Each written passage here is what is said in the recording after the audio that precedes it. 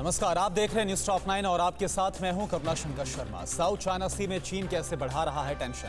S four hundred की पहली खेप भारत पहुँचने से कैसे सहमा चीन पाकिस्तान?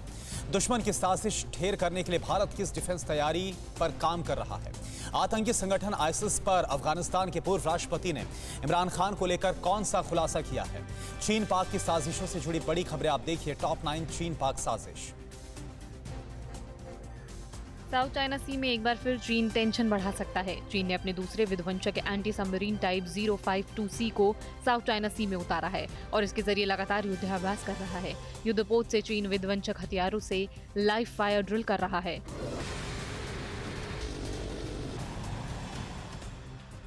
चीन अपने युद्धक हेलीकॉप्टर डब्ल्यू जेड नाइनटीन के युद्धाभ्यास का वीडियो जारी किया है, जिसमें air to air war drill किया गया। डब्ल्यू जेड नाइनटीन हेलीकॉप्टर के ज़रिए फायर किए गए बम को हवा में ही टारगेट पर निशाना लगाकर ध्वस्त किया गया।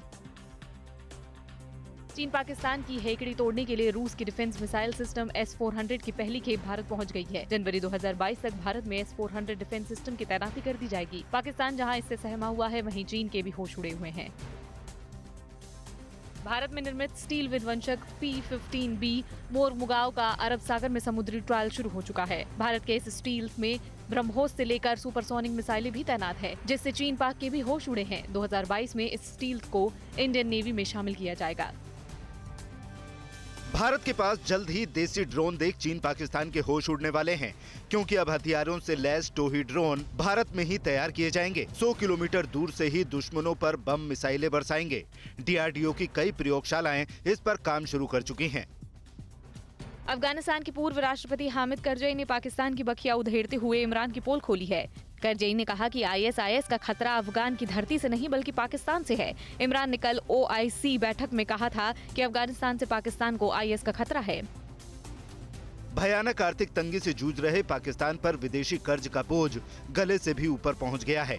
इमरान सरकार ने 2020-21 में 15.32 अरब डॉलर का रिकॉर्ड कर्ज लिया है, जिससे कर्ज मांगने का पुराना रिकॉर्ड भी टूट गया है।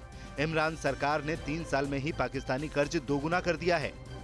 गुजरात तट पर पाकिस्तान के नशे वाली साजिश का खुलासा हुआ है। भारतीय तट रक्षक बल और एटीएस ने मिलकर भारतीय समुद्री सीमा में घुसे पाकिस्तानी नाव अल हुसैनी को पकड़ा है, जिसमें 400 करोड़ की ड्रग्स छिपाकर गुजरात लाई जा रही थी। पाकिस्तानी नाव से छह तस्कर भी गिरफ़्तार हुए हैं। पंजाब के गुरदासपुर में पाकिस्तानी ड्रोन दिखा। रात करीब 12 बजे कस्सोवाल बीओपी इलाके में ड्रोन दिखने पर जवानों ने फायरिंग शुरू की। पाँच राउंड फायरिंग के बाद ड्रोन वापस पाकिस्तानी इलाके में लौट गया। पुलिस इलाके की छानबीन में जुटी है। अड़ी सोमवार से शुक्रवार शाम छह बजे सिर्फ़ टीवी नाइन भारतवर्ष पर।